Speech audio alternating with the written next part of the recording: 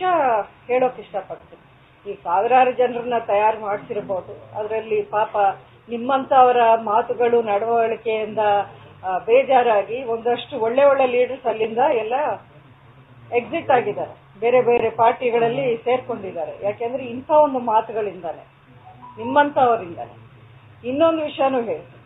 ನೀವ್ ಹೇಳ್ತಿರಲ್ಲ, ನೀವು ತಯಾರು ಮಾಡಿರೋ ಸಾವಿರಾರು ಜನ ಅಂತವರು ಅದಕ್ಕಿಂತ ದೊಡ್ಡವರು ಅಂಬರೀಷ್ ಅವ್ರ ಮುಂದೆ ಕೈ ಕಟ್ಕೊಂಡು ನಿಂತಿರೋದು ನಮ್ಮ ಮನೆಯಲ್ಲಿ ಹಲವಾರು ವರ್ಷಗಳು ನಾನು ನೋಡಿದ್ದೀನಿ.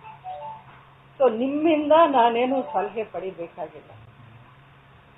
ಒಳ್ಳೆ ಉದ್ದೇಶ ಇಟ್ಕೊಂಡು ಜಿಲ್ಲೆಗೆ ಏನಾದರೂ ಅಭಿವೃದ್ಧಿಯ ಕೆಲಸಗಳಲ್ಲಿ ನನ್ನ ಸಾಥ್ ಕೊಡ್ತೀರಾ? ಬನ್ನಿ. ಯಾವುದೇ ಒಂದು ಪ್ರತಿಷ್ಠೆ ಇಲ್ಲದೆ ನಾನು ನಿಮ್ಮನ್ನ ಜೊತೆಗೆ ಸೇರ್ಸ್ಕೊತೀನಿ. ಈ ರೀತಿಯ ಮಾತುಗಳಿಂದ ಯಾರಿಗೂ ಏನು ಉಪಯೋಗ ಇಲ್ಲ, ಜನಕ್ಕೆ ಉಪಯೋಗ ಇಲ್ಲ. ನನ್ನ ಟೈಮ್ನ ನೀವು ವೇಸ್ಟ್ ಮಾಡ್ತಿದ್ದೀರ. ನನ್ನ ನಡೆ ಏನಿದೆ, ನಾನು ಏನಕ್ಕೆ ಯಾವ ವಿಷಯವನ್ನು ಮಾಡ್ತಾ ಇದ್ದೀನಿ ಅನ್ನೋದು ನನ್ನ ಜನಕ್ಕೆ ಗೊತ್ತು. ನನ್ನ ಇಲ್ಲಿ ಆಯ್ಕೆ ಮಾಡಿ, ಲಕ್ಷಾಂತರ ಒಂದು ಬಹುಮತದಿಂದ ನನ್ನನ್ನು ಆಯ್ಕೆ ಮಾಡಿ ಇಲ್ಲಿ ಕಳಿಸಿದಾರಲ್ಲ, ಆ ಜನಕ್ಕೆ ಉತ್ತರ ಕೊಡೋಕೆ ನಾನು ತಯಾರಿದ್ದೀನಿ. ಬೇರೆಯವರು ಬೇರೆ ಏನೇನೋ, ಬೇರೆ ಉದ್ದೇಶ ಇಟ್ಕೊಂಡು ಕೇಳೋ ಪ್ರಶ್ನೆಗಳಿಗೆ ಉತ್ತರ ಕೊಡೋ ಅವಶ್ಯಕತೆ ನನಗಿಲ್ಲ. ಒಂದು, ಇದನ್ನು ಹೇಳ್ತೀನಿ. ಅವರ ವಿಷಯಕ್ಕೆ ಬಂದಾಗ ನಿಜಕ್ಕೂ ನನಗೆ ಒಂದು ರೀತಿಯಲ್ಲಿ ಹೇಳಬೇಕು ಅಂದ್ರೆ ಪಾಪ ಅನ್ನಿಸ್ತಾ ಇದೆ. ನಿಜಕ್ಕೂ ಪಾಪ ಅನ್ನಿಸ್ತಾ ಇದೆ ಅವ್ರ ಮಾತುಗಳು ಕೇಳಿ. ಯಾಕೆಂದ್ರೆ ಏನಕ್ಕೆ ನಿಮ್ಗೆ ಆ ಭಯ? ಏನಕ್ಕೆ ಅಷ್ಟೊಂದು ಟೆನ್ಷನ್ ಅಲ್ಲಿ ನೀವು ಮಾತಾಡ್ತಿದ್ದೀರಾ? ಏನ ಆ ಮಾತಿನ ವೇಗ? ಅರೆ, ನಾನು ಮಾತಾಡ್ತಿರೋದು ಅಕ್ರಮವಾಗಿ ನಡೀತಿರೋ ಗಡಿಗಾರಿಕೆ. ನಿಮ್ಮಲ್ಲಿಲ್ಲ ತಾನೇ ಅಕ್ರಮ? ಹಾಗಾದ್ರೆ ನಿಮ್ಗೇನು ತೊಂದರೆ? ನನ್ನಿಂದ ನಿಮ್ಗೇನು ತೊಂದರೆ ಆಗಬಾರ್ದು? ಆಗೋದು ಇಲ್ಲ.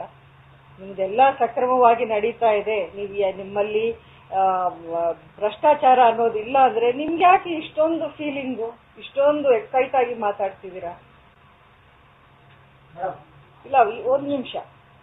ಯಾಕೆಂದ್ರೆ, ಇವತ್ತು ಮಾತ್ರ ಅಲ್ಲ.